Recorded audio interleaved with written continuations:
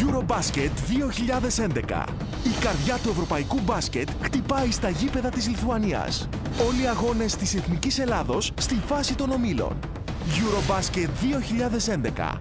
Από 31 Αυγούστου, ζωντανά και αποκλειστικά στα κανάλια της LTV. Τη μετάδοση των αγώνων χορηγεί ο ΠΑΠ Κύπρου.